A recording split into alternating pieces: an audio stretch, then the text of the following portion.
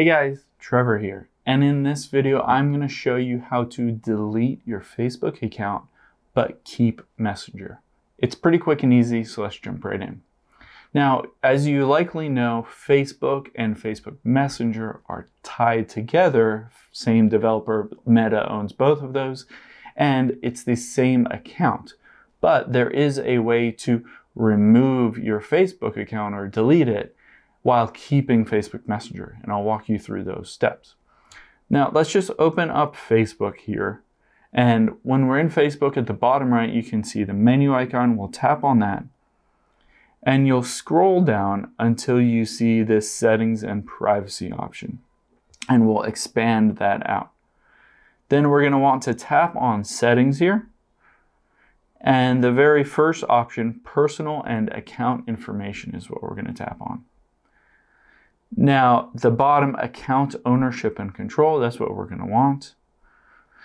And deactivation and deletion, that's what we're going to want.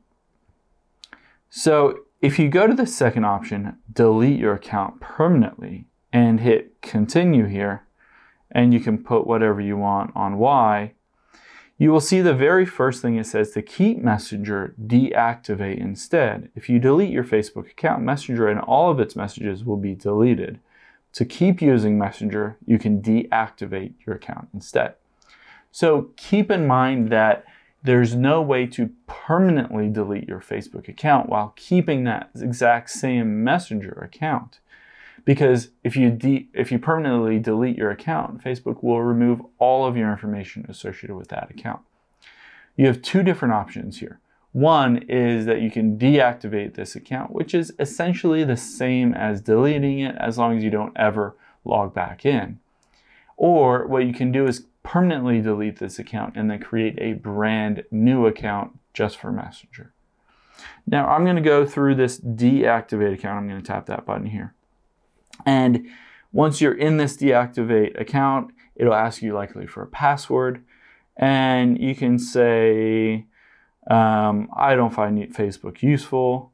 And then hit continue here. And it'll ask you some steps that you might want to take. And then I'll hit continue. And then it says, before you deactivate, do blah, blah, blah.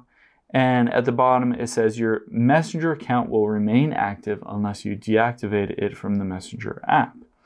And if you scroll down, you can give the opportunity to deactivate my account. Just tap on that button, and then your Facebook account will be deactivated, but the exact same account tied to the same email address for Facebook Messenger will still work as normal. Hope this helps. Let us know if you have any questions in the comments below and make sure to subscribe. Thanks.